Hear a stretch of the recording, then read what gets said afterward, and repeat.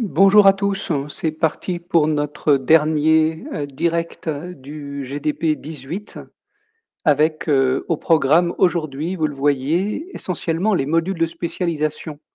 Mais nous parlerons aussi de plein de choses, euh, par exemple les actualités du MOC, les premiers résultats de l'examen. On vous parlera du GDP Lab. Il y aura bien sûr les conseils employabilité avec Guillaume. on vous indiquera comment vous pouvez déposer une demande de bourse. Voilà, donc euh, aujourd'hui euh, avec nous, donc euh, nous avons l'équipe habituelle, donc Jean-Pierre, Guillaume et Solveig. Bonsoir. Bonsoir. Bonsoir, à tous. Et nous avons aussi quelques invités spéciaux. donc Pierre Mongin, Marjorie Meunier et peut-être Denis Choulier. Voilà. Alors Pierre a un micro qui fait un peu de bruit de fond. Donc euh, voilà, bah, on, lui donnera la parole quand ce sera, la présentation de sa spécialisation. Euh, voilà, et donc euh, bah, ce que je vous propose, c'est que sans plus tarder, que l'on commence. alors on va quand même peut-être faire un petit bonjour à ceux qui sont avec nous en ce moment sur, sur YouTube, sur le canal YouTube. Donc bonjour Fadimato, bonjour Alizé, il y a Frédéric qui est présente.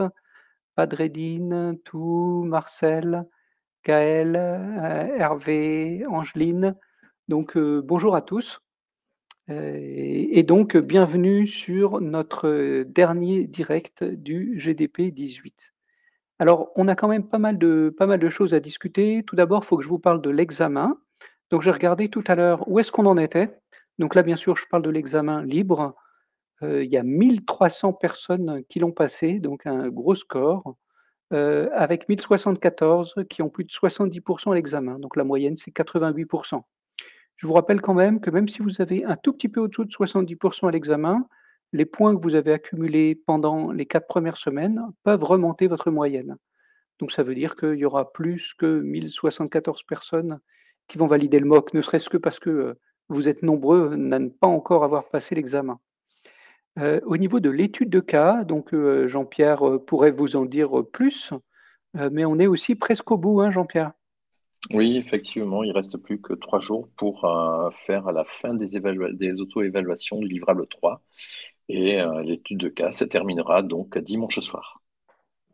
Et donc, au niveau de la validation, pour l'instant, vous êtes 356 à avoir validé. Voilà, exactement. Il en reste encore 62 précisément qui n'ont pas terminé leurs évaluations. Donc voilà pour, euh, pour l'étude de cas. Euh, à noter aussi, à, Jean-Pierre, je veux te faire revenir, il y a deux personnes qui ont 100% de moyenne. Ça veut dire qu'ils ont eu 100, 100, 100. et 8 qui ont 99%. Mhm. Donc euh, bravo. bravo à eux. Spectaculaire. Alors on attend encore des notes, hein, mais c'est quand même bien. Mhm. Euh, alors, que dire d'autre? Euh, Donc, euh, il y a déjà 10 personnes au moins qui ont déjà validé deux spécialisations, alors que justement, le but ce soir, c'est de vous présenter les spécialisations. Il y en a qui n'ont pas traîné. Alors, il faut savoir que quand vous avez validé le tronc commun et deux spécialisations, vous êtes qualifié pour pouvoir passer l'examen surveillé.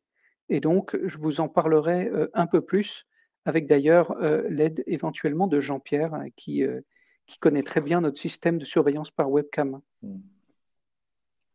Voilà, alors sinon, une chose importante à noter, euh, l'examen que vous passez en ce moment, c'est l'examen euh, libre et gratuit. Donc cet examen se passe de chez vous, à distance, et permet d'obtenir l'attestation de réussite.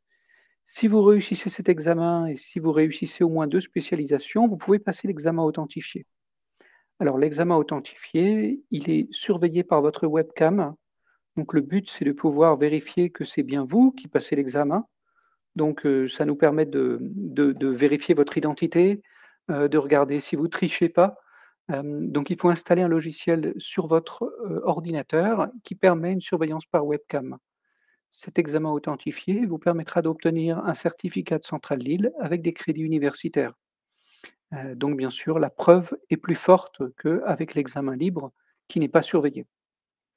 Alors, il est peut-être temps de redonner la parole à Jean-Pierre hein, et de parler de l'animateur ou l'animatrice de la semaine. Moi, je ne sais pas encore qui c'est.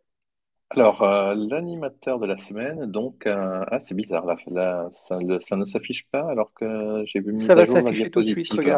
Oui, d'accord. Voilà. Donc, c'est Madjar, en fait. Euh, Alors, je ne sais pas si Madjar est, Ah, est sur notre, connecte. sur nos, sur nos réseaux. Voilà, donc Madjar, lui, s'est illustré durant les quatre semaines, en fait, du, euh, du, du tronc commun et de l'étude de cas. Donc, euh, il a participé à différentes euh, questions. Il a été épinglé plusieurs fois. Euh, Oui, ses réponses ont été épinglées. Donc, voilà, il a aidé les autres apprenants. Donc, globalement, ça a été un bon animateur de session, finalement. Donc, bravo à lui. Et grâce à cela, il va obtenir donc toutes les attestations de, du- euh, de, de tous les examens qu'il effectivement. passe. Ouais, Voilà. je me souviens de la chaîne Donc, YouTube, il voilà. l'a, il l'a partagé aussi sur Facebook, je pense. Oui. mhm. Euh, bon, bah, très bien. Voilà, Bah, félicitations, Madjar. Donc, bravo Madjar. Et donc, euh, tu as gagné euh, les, la gratuité des attest... attestations Voilà, de réussite, exactement. non seulement celle euh, du tronc commun, peut-être que tu l'as déjà acheté, mais aussi celle de Mm. toutes les spécialisations. Donc, euh, donc euh, voilà, euh, donc il ne tient qu'à toi d'en faire 15 si tu le souhaites. Elles seront toutes gratuites. Que dire d'autre? Ah oui, sur le groupe Facebook, si vous cherchez un peu et si vous avez besoin de réviser l'examen, vous allez trouver de très jolies cartes conceptuelles qui résument. ici, c'était le, le module euh, 1 euh, et le module, non, le module 2 et le module 3. Alors, il faut chercher un peu pour le déterrer sur le groupe Facebook parce que ça date d'une session précédente, mais je pense que vous pourrez le retrouver assez facilement. Et donc, ça peut vous aider si vous souhaitez euh, réviser. Voilà, donc on voit qu'il y a beaucoup de, félicitations à Madjar, et donc je me joins aussi euh, à, toutes celles-ci. Alors, le principal sujet aujourd'hui pour nous, ça va être de vous présenter les spécialisations. Donc les spécialisations, il y en a beaucoup. Donc euh, officiellement, il y en a 14 qui sont ouvertes. Et pour simplifier les choses, on va les répartir en quatre catégories. Donc celles qui correspondent à ce que l'on fait avant de lancer un projet, préparation de projet, celles dans le feu de l'action avec animation de projet et gestion des problèmes, et puis enfin dans une quatrième catégorie, celles que nous n'avons pas réussi à classer. Donc on va les appeler autres, on peut les appeler aussi divers. Donc ce que je vous propose, c'est que euh, aujourd'hui, on va parcourir les spécialisations une par une, et puis après chaque groupe de spécialisation, on fera un petit point sur un autre sujet d'actualité, histoire de, euh, varier un peu les, les plaisirs. Euh, donc, sans plus tarder, et si vous êtes prêts, eh bien, on va y aller. Donc, pour commencer, je vous propose de vous présenter cinq modules qu'on a classés dans la catégorie préparation de projet. Et là, le suspense, ça va être de voir si Denis a réussi à trouver une meilleure euh, connexion. Donc, on verra bien. Euh, donc, il y a des spécialisations qui sont euh, proposées, c'est moi qui les propose, donc analyse stratégique, évaluation d'impact, une de Bruno Warin et deux de Denis. Alors, de quoi s'agit-il? Vous les voyez ici, analyse stratégique, évaluation d'impact, planification avancée, diagnostic système et analyse fonctionnelle. Analyse stratégique, donc euh, la, première, euh, la première spécialisation que je vais vous présenter, c'est celle euh, qui parle de la dynamique, notamment ce qui vous permettra, si vous êtes chef de projet, de bien comprendre ce qui se passe. Notamment, dans un projet, tout n'est pas forcément rose. Vous pouvez avoir des, des gens qui s'opposent au projet, qui ne sont pas d'accord avec ce qui est fait. Vous vous souvenez, je vous, ai un peu montré en semaine 2 euh, ce qu'on appelle euh, ici euh, cette matrice des enjeux pour et contre. Donc l'objectif de ce cours, ce sera de revenir sur cette matrice et de réaliser un diagnostic stratégique en utilisant notamment la théorie des acteurs stratégiques qui fait partie en fait de l'école française de sociologie des organisations. Le but de tout cela, c'est d'établir ce qu'on appelle un système d'action, donc comprendre la dynamique des acteurs autour du projet.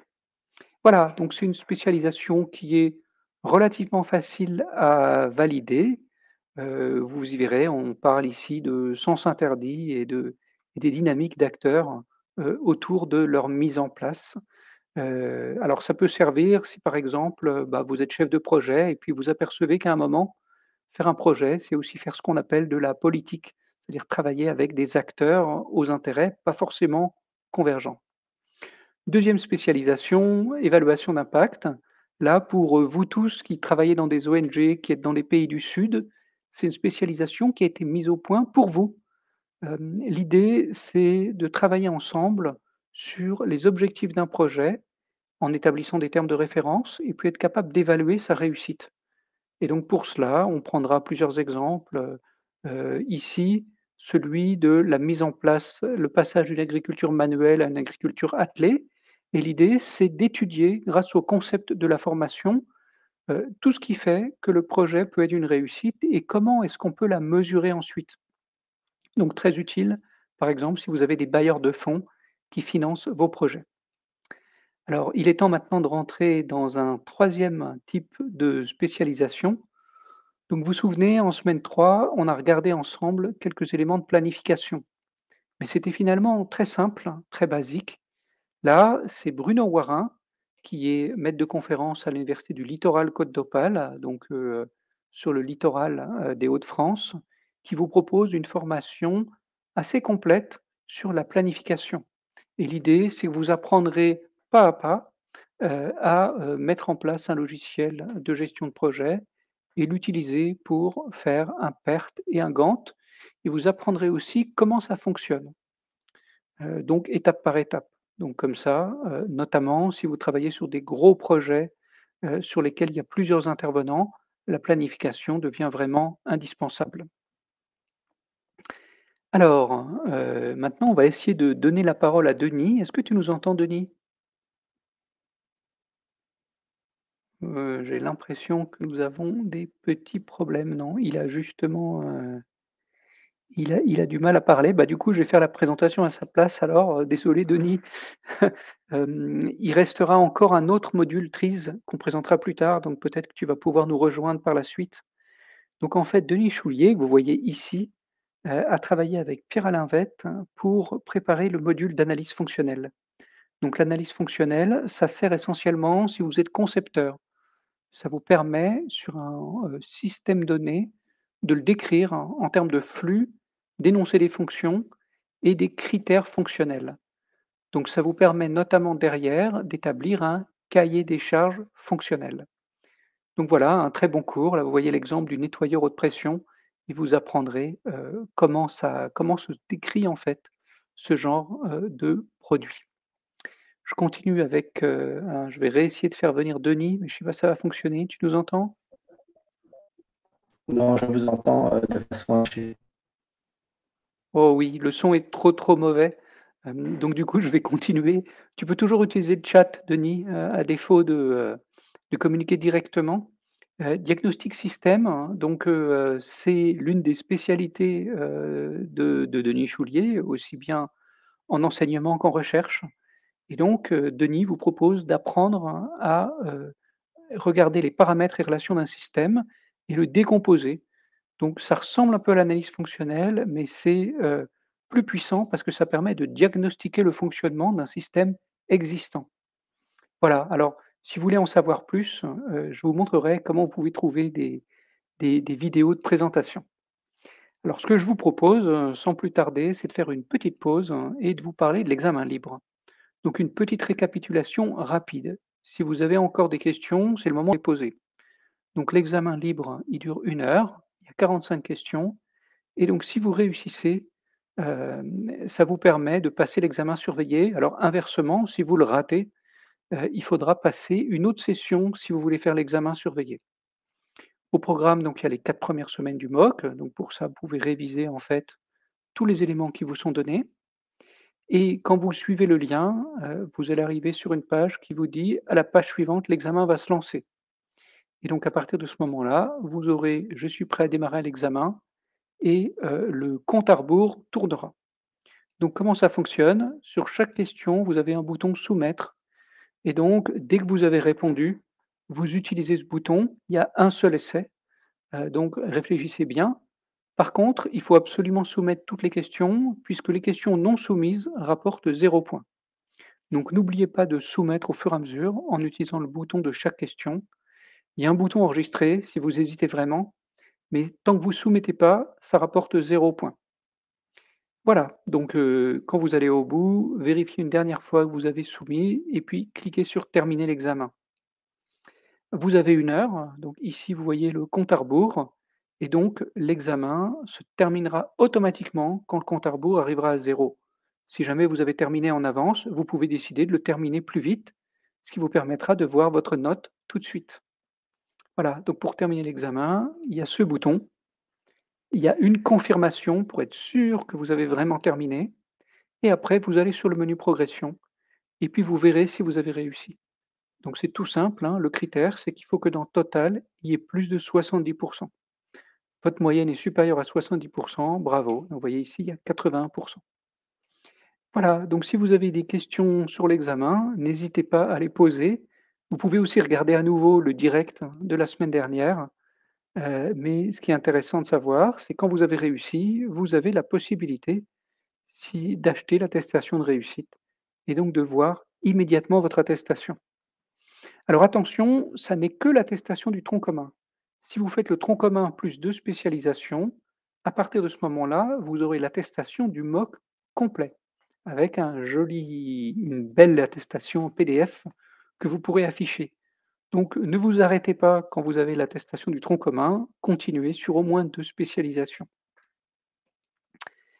Voilà, euh, pour acheter votre attestation, on fonctionne par PayPal, mais même si vous n'avez pas de compte PayPal, il suffit d'appuyer sur Payer par carte.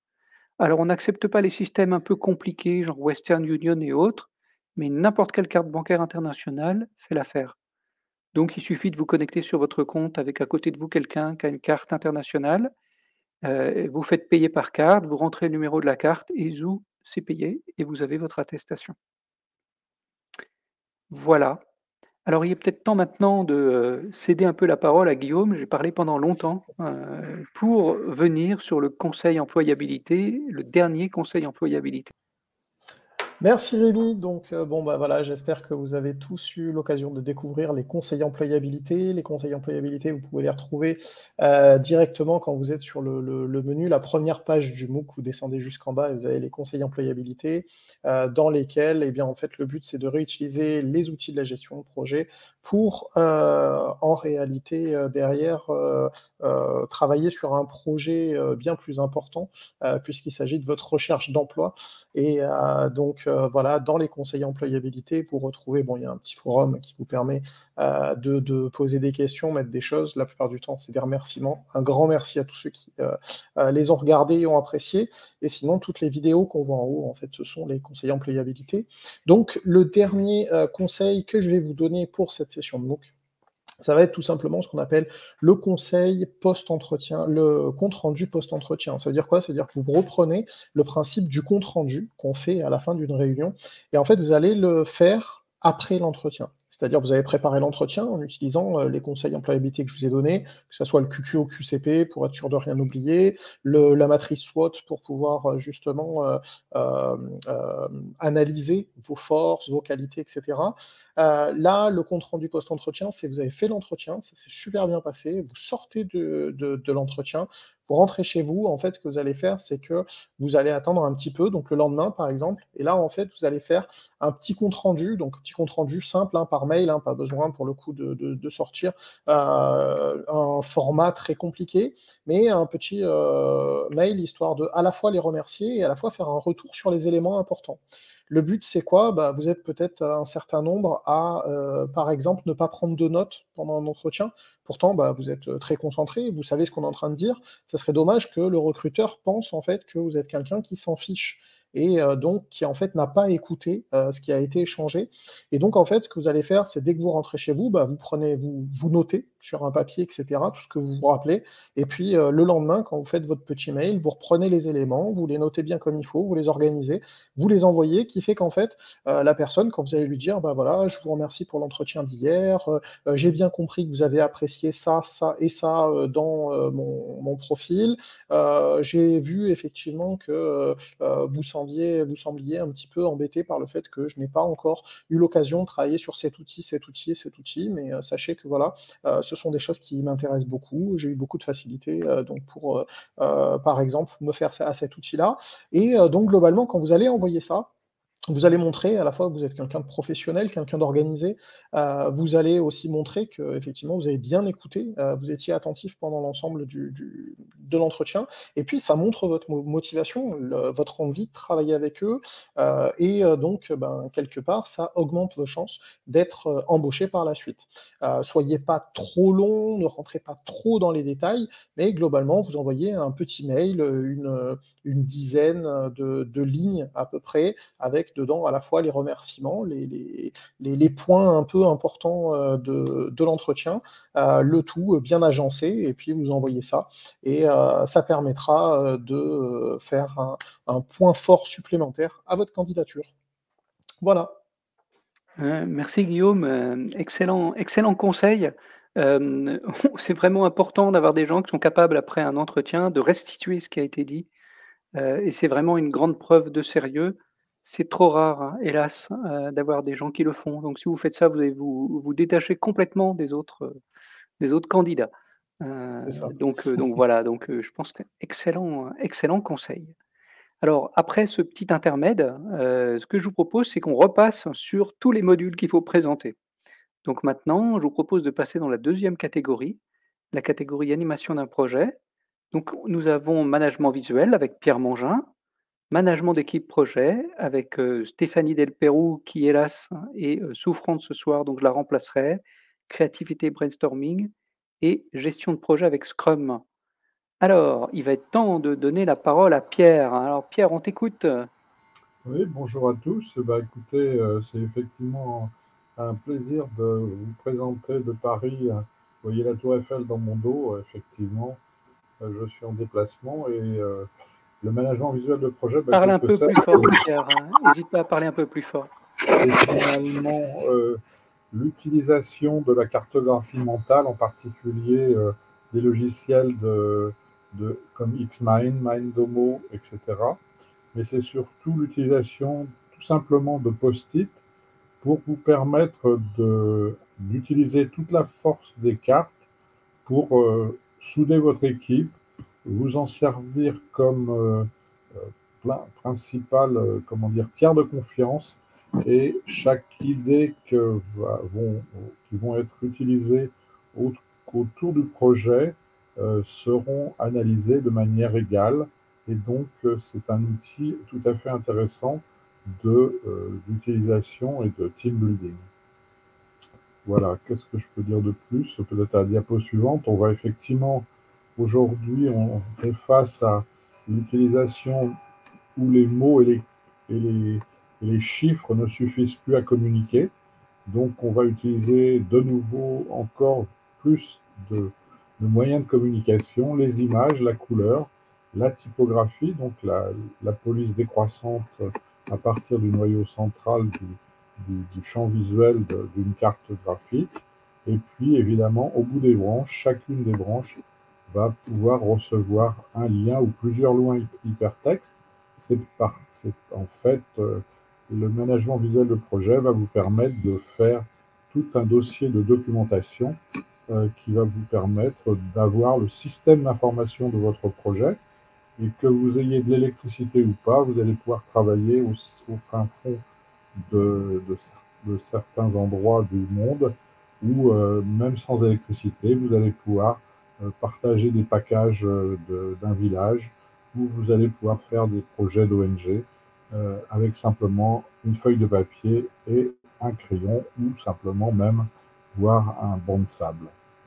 Voilà, et donc on utilisera cette méthode très simplement pour produire des posters qui vont dépasser la taille de l'écran et donc le système d'information du projet sera visible de tous les participants et puis lorsqu'on utilisera des logiciels, ce système d'information sera euh, disponible en, temps réel, en unité de temps, de lieu et d'action à l'ensemble de l'équipe projet, qu'elle soit euh, décalée ou sur le même secteur.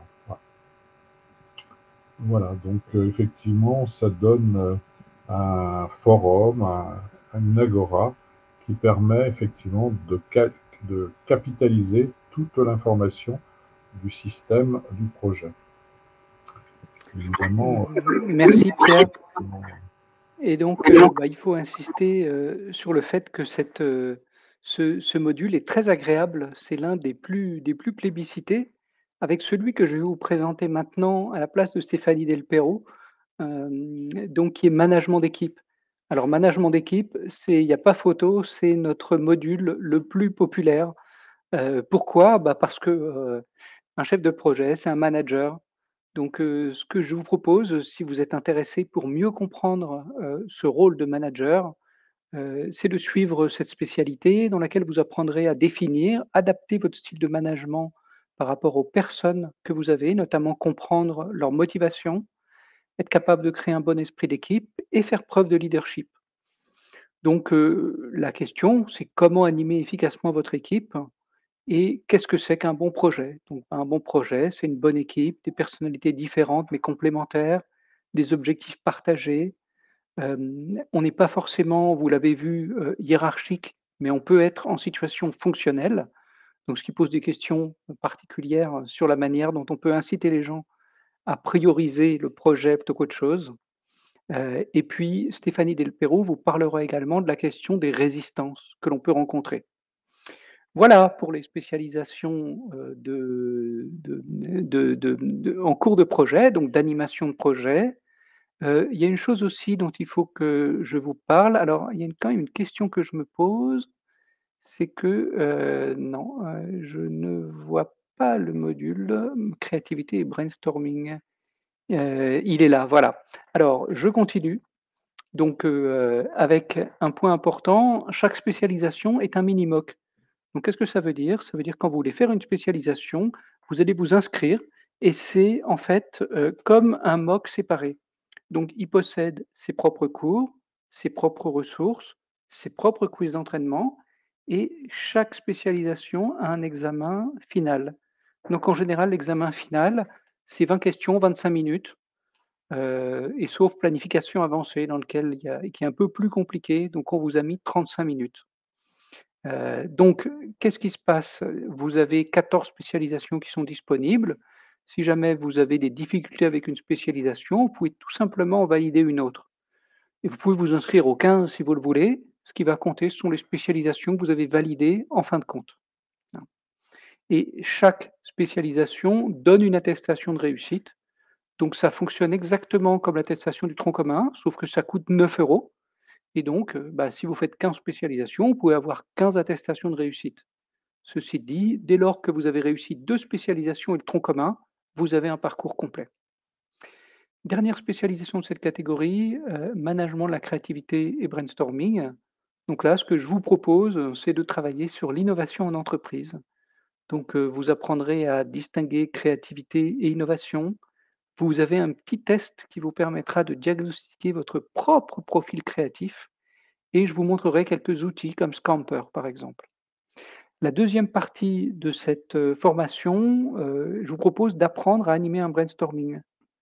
Donc l'idée, c'est de voir ensemble comment est-ce que vous allez constituer l'équipe, comment est-ce que vous allez la mettre en route, quelles sont les méthodes de créativité que vous allez utiliser, et puis finalement, quels seront, euh, Comment est-ce que vous allez vous mettre d'accord hein, pour prendre la décision finale?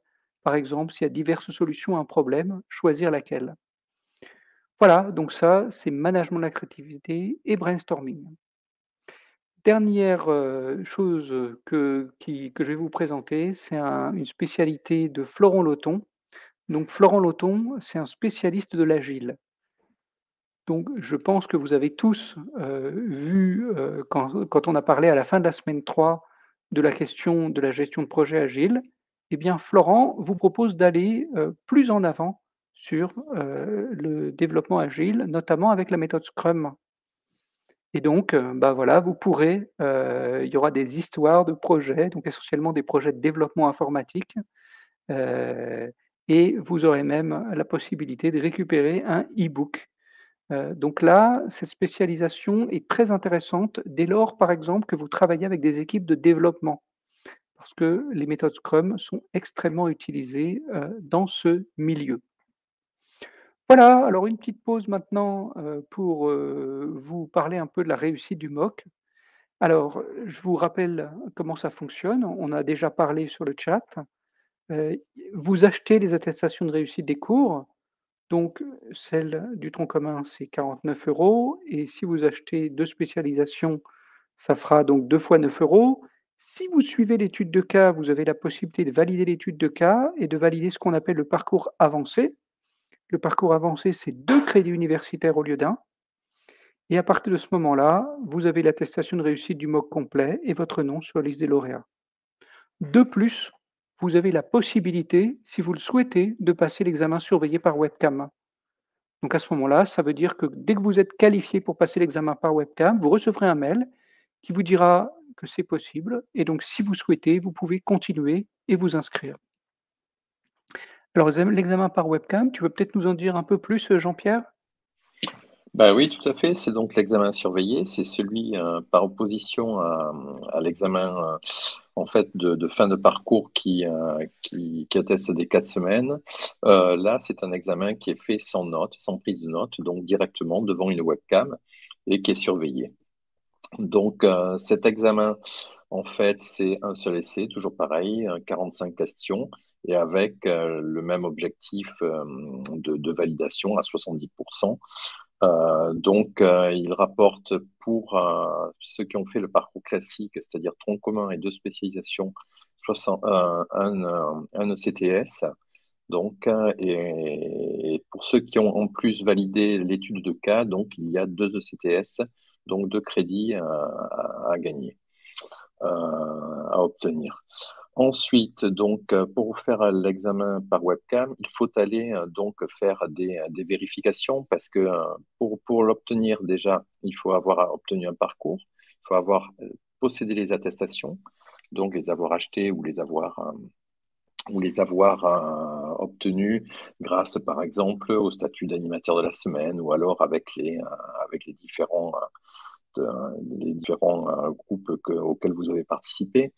Euh, ensuite, donc l'examen par webcam, qu'est-ce qu'il y a à faire? Ben, Il y a d'abord à tester votre système, euh, voir si votre connexion Internet est correcte, si votre, euh, votre, votre ordinateur également est correct de façon à pouvoir tester. Donc, vous avez différents liens ici qui sont, qui sont permis. Et vous lancez, ces, vous lancez ces, tests et automatiquement, vous avez une, une mire qui, qui vous donne l'ensemble des, des résultats. Donc, il faut avoir obtenu bien entendu des, résultats verts et euh, optimum pour pouvoir passer l'examen dans de bonnes conditions. Euh, vous avez donc toutes les informations pour euh, là-dessus pour, vérifier avant de vous inscrire donc à l'examen. Testez votre système, regardez si ça fonctionne bien et ensuite, une fois que vous avez vos attestations, vous pouvez vous présenter à l'examen surveillé par webcam. Voilà, alors euh, ne le faites surtout pas maintenant, mais euh, dans, le, dans les commentaires, je vous mets le lien qui vous permettra, après le direct, après le direct de tester euh, votre ordinateur pour voir s'il vous permet de passer l'examen. Donc attendez d'avoir fini parce que là, ça ne va pas fonctionner tout de suite. donc voilà, je vous le reposterai à la fin s'il le faut. Et donc c'est ça, c'est ce système check qui vous permet de vérifier si votre connexion est suffisante pour le passer. Sachez aussi que vous n'êtes pas forcé de le passer chez vous. Hein. Vous pouvez aller dans une bibliothèque ou dans un cybercafé si vous avez besoin d'une meilleure connexion. Alors maintenant, bah, qu'est-ce qu'on va faire? Bah, On va reprendre notre présentation des modules. alors, nous avons ce soir Marjorie qui est présente et qui va nous présenter Anthropodesign. Je vais vous parler de méthodologie de résolution de problèmes. Il y a TRIS qui est proposé par euh, par Denis Choulier. Et euh, Guillaume vous dira peut-être quelques mots sur gestion de crise, mais il est en cours de mise à jour gestion de crise. Donc on ne vous le présentera pas dans le détail. Voilà, alors Marjorie, c'est à toi. Euh, parle-nous un peu d'anthropodesign. Bonsoir. Alors, euh, en fait, moi, je suis socio-anthropologue et c'est moi qui vais vous guider dans euh, la spécialisation du MOOC euh, Anthropodesign pendant les prochains jours. je vous invite à me suivre parce que c'est des méthodes qui vont permettre d'améliorer votre gestion de projet grâce aux sciences humaines. ce sera un parcours qui est rythmé aussi d'activités un peu décalées et de découvertes qui vous permettent de travailler sur les savoir-être autant que sur les savoir-faire. Alors, vous vous demandez peut-être, j'imagine, pourquoi des sciences humaines dans votre projet. Alors en fait, vous serez peut-être surpris de savoir que l'ethnographie, la sociologie, c'est des disciplines qui sont à la base de beaucoup euh, de méthodes aujourd'hui utilisées dans les entreprises, euh, comme par exemple le marketing avec les personas notamment. Euh, sur la slide suivante, vous verrez que, par exemple, l'expérience collaborateur aussi très à la mode en ce moment, ou alors même le design thinking, hein, on en parle beaucoup en ce moment, donc la conception en tant que telle, dans la première phase, en fait, il y a une phase recherche utilisateur qui, en fait, est, est l'ethnographie. Et c'est ça que je vais vous euh, transmettre dans cette spécialisation. En fait, c'est des méthodes pour écouter les besoins de l'interlocuteur, du client en l'occurrence, de vos utilisateurs, entrer en empathie avec lui. Et donc, pour moi, c'est vraiment la, base de la base pour, pour réussir un, bon projet. Euh, en fait, depuis la phase de conception jusqu'à la phase de lancement, euh, ça permet de fédérer les parties prenantes, de mieux comprendre les besoins des utilisateurs et donc d'adapter votre projet et aussi parfois de, voir les failles rapidement pour pouvoir tout de suite euh, récupérer et faire des choses bien mieux et à réussir bien mieux le projet. Euh, sur un plan personnel, sur la slide suivante, vous verrez qu'en en fait, il y a beaucoup de choses pour vous faire monter en compétence sur l'écoute, l'observation et l'analyse. Euh, c'est toutes des activités qui sont vraiment un peu sortent un peu de l'ordinaire. Et euh, vous verrez qu'en plus, ça va vous permettre vraiment d'améliorer la qualité de votre projet, la rentabilité et la, satisfaction de vos parties prenantes, puisque vous allez vraiment euh, essayer de comprendre ce que chacun veut et comment vous allez pouvoir euh, mettre tout ça euh, en musique. Donc c'est pour ça que je vous invite à vous inscrire à, à la spécialisation anthropodesign pour découvrir comment justement utiliser ces outils des sciences humaines pour améliorer votre projet et puis monter en compétences aussi. Bravo Marjorie, merci de ta, merci de ta présentation.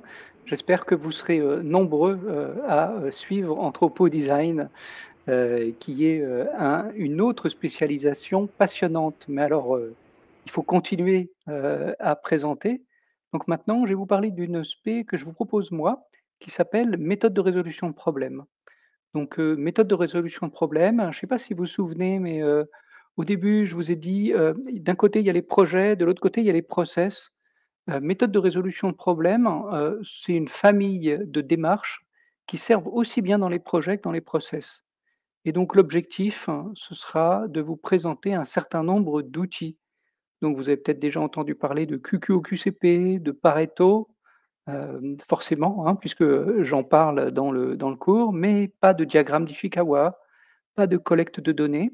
Et ce que je vous propose dans cette formation, c'est euh, pas à pas de suivre en fait les différentes euh, étapes de la démarche de résolution de problèmes donc, bien entendu, vous le savez, dans la vie, on a plein de problèmes et euh, bien vous apprendrez comment vous y prendre pour les résoudre rigoureusement et en équipe. Crise. Alors, euh, Denis ne nous a toujours pas rejoint, donc c'est moi qui vais le remplacer. TRISE, c'est pour les gens qui font de la conception. En fait, TRISE, c'est un acronyme d'une méthode russe qui veut dire euh, en russe théorie de la résolution des problèmes inventifs.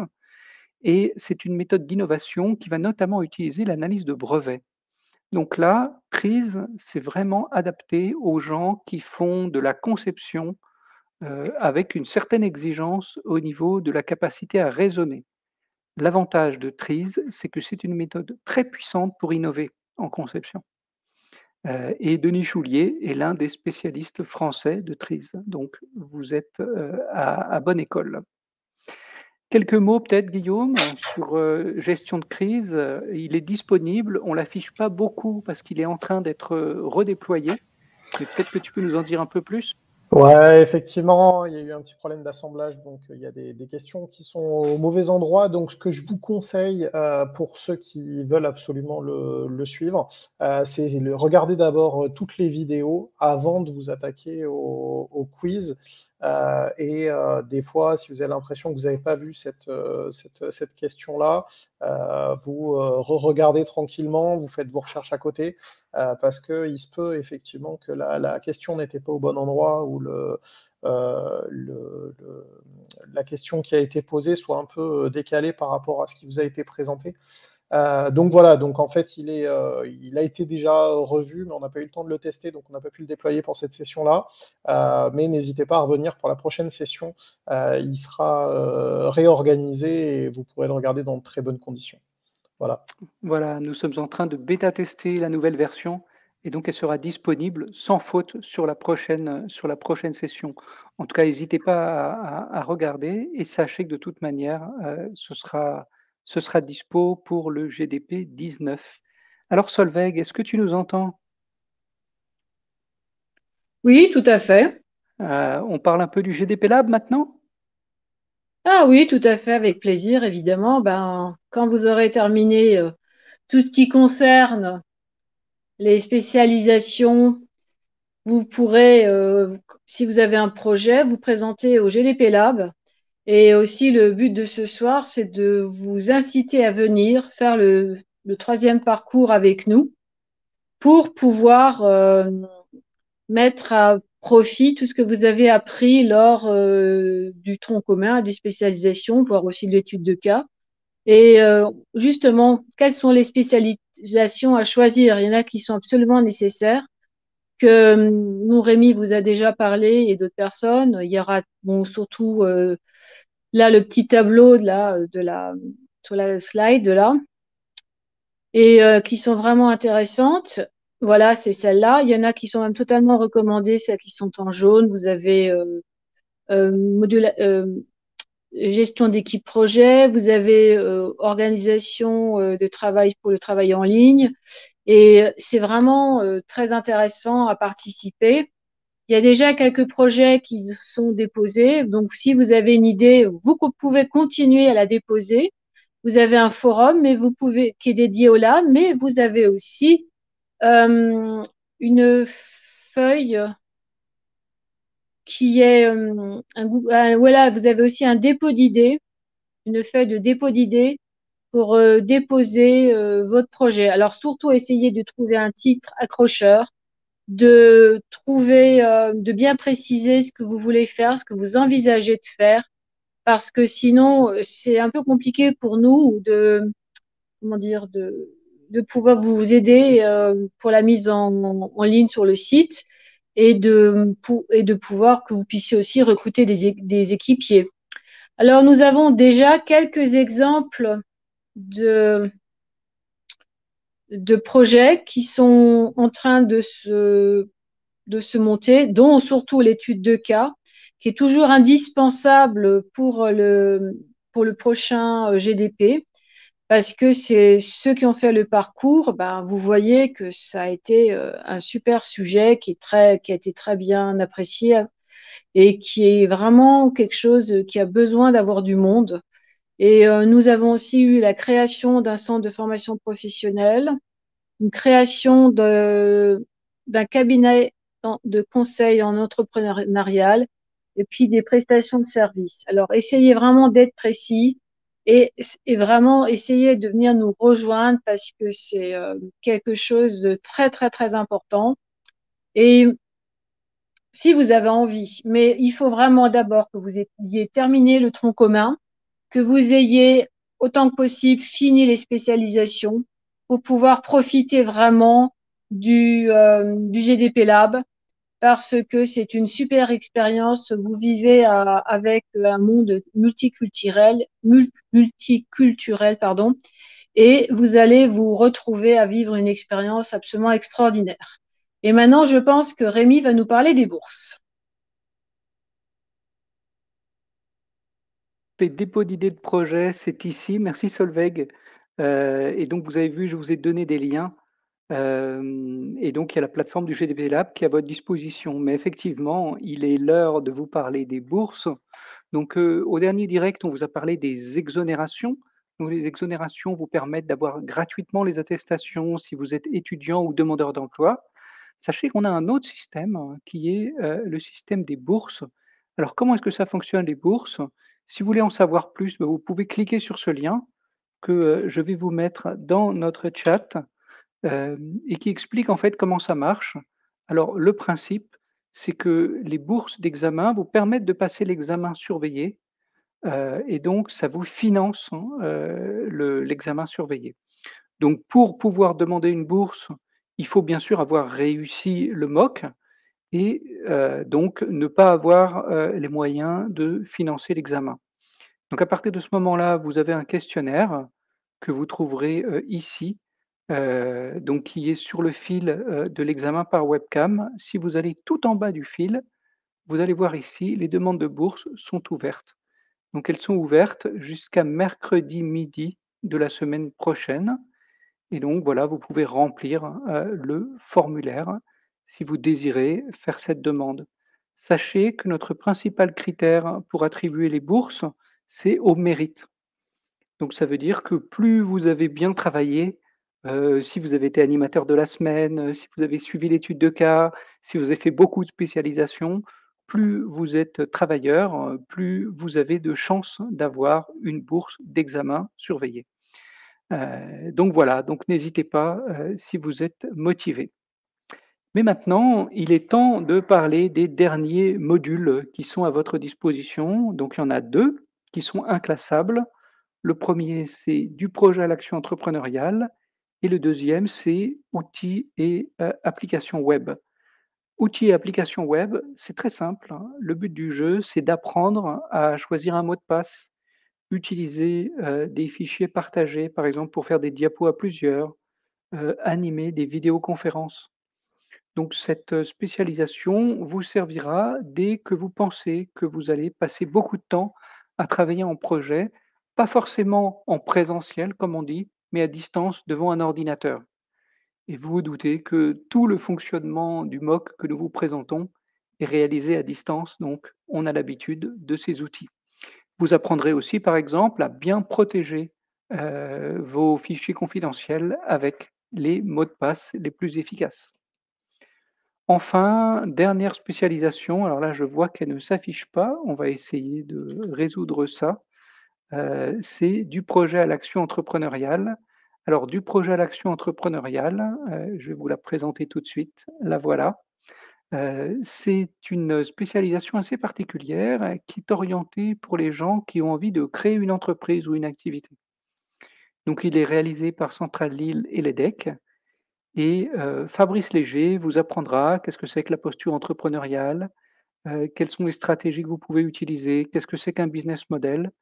Donc, ça vous donnera une bonne idée de la relation entre projet et création d'entreprise donc euh, une spécialisation particulière qui est spécialement orientée vers les créateurs d'entreprises. Voilà, alors euh, bien entendu, vos questions qui sont en direct, euh, on, les, on, va les regarder et y répondre. je vous fais quand même un petit récapitulatif en attendant. Donc au niveau des examens, vous avez l'examen libre. Donc l'examen libre, il est dispo jusqu'au 15 novembre, donc vous pouvez le passer comme vous voulez. Euh, vous allez ensuite sur le menu progression qui vous permettra d'obtenir votre attestation de réussite. L'examen par webcam, c'est dès que vous avez réussi l'examen libre et de spécialisation, vous serez contacté par mail et vous pourrez le passer jusqu'au 28 novembre. Donc le 28 novembre, c'est la date de fermeture finale du MOOC. Et donc, vous êtes invité, si vous avez obtenu les attestations du TC et de deux spécialisations, à le passer. Voilà, donc on a à peu près fini notre, soirée. Quelques rappels. Hein. Donc l'examen libre jusqu'au 15 novembre, hein, il manque un chiffre ici. Euh, demande de bourse jusqu'à mercredi prochain. Et pour le GDP Lab, c'est le moment. Vous avez vu que le forum du GDP Lab est très actif. Donc vous pouvez déposer votre candidature et y aller voir maintenant. Alors une question de Karine. Hein, garde-t-on le bénéfice de nos notes sur une autre session? Alors non, Karine, parce qu'on ajuste en fait le programme à chaque fois. C'est comme quand vous suivez un cursus euh, scolaire ou universitaire. Si vous revenez l'année suivante, vous, euh, vous refaites euh, l'année. Et de toute façon, refaire le MOOC, une fois que vous avez compris, c'est assez facile. Donc je pense que c'est pas très difficile pour vous, si vous avez fait le tronc commun, de le refaire une fois que vous avez une bonne, de bonnes connaissances. Voilà, alors qu'est-ce qu'il y a d'autre à dire? On va peut-être se dire au revoir maintenant. Euh, donc on a ici les quatre principaux protagonistes euh, de nos directs. Donc Solveig, l'organisatrice. Jean-Pierre, donc sur l'animation et l'étude de cas. et Guillaume sur les questions de la semaine et les conseils employabilité. Voilà, donc bah, merci, merci à tous. une petite question. Avons-nous accès au module après cette session Alors, oui et non. C'est-à-dire que quand la session va, se terminer, vous aurez toujours la possibilité de vous connecter sur la plateforme et de voir les vidéos. Par contre, quand la session est terminée, les examens sont fermés, on envoie les attestations de réussite. Donc, après cette session, vous pourrez toujours accéder aux cours et aux ressources, mais vous ne pourrez plus valider la session. Il faudra participer à la session suivante qui commencera en mars. Voilà, donc euh, bah, merci à tous. Hein. donc, euh, euh, alors Karine, la question de la semaine, vous avez le lien sur, les, sur, le, sur le mail. On a décidé, Guillaume et moi, que on avait tellement de choses à dire ce soir qu'on n'allait pas retraiter les questions la semaine. Euh, mais on vous a répondu directement sur les fils de discussion. Donc, euh, n'hésitez pas à y aller. Euh, je peux éventuellement même vous mettre le lien parce que je l'ai gardé. voilà, donc en fait, si vous voulez voir la question de la semaine, allez, rendez-vous ici. Et puis l'autre chose que vous pouvez faire, n'oubliez pas, c'est si vous voulez voir, si vous voulez vérifier s'il est ou non possible euh, de suivre l'examen surveillé. Vous avez le lien que je vous ai proposé euh, sur, le, sur le, le, le, chat. Et donc, bah, n'hésitez pas, euh, vous pouvez aller là dans RP Exam et tout de suite, dès qu'on a terminé le direct, appuyez dessus et puis tester votre système. Voilà, donc euh, bah, merci à tous, merci à toute l'équipe pour ce GDP 18. Alors c'est pas fini, hein, il y a encore plusieurs semaines, mais pour les directs, euh, c'était notre dernier direct. Et donc merci encore à toute l'équipe et merci à vous qui nous êtes restés fidèles. Euh, et bon travail parce que c'est pas fini, vous avez encore plein de spécialisations à faire. Et le lab. voilà. Et le GDP Lab, et le GDP Lab, ouais. Rejoignez l'équipe de l'étude de cas. voilà, merci Karine, merci Christian Marc, merci Mohamed. Euh, et donc, euh, merci Alizé, merci Yam, merci Michel, merci Laurie, euh, merci Yvan, et bonne soirée, et à bientôt en vidéo, j'espère. Au revoir. Au revoir. Au revoir.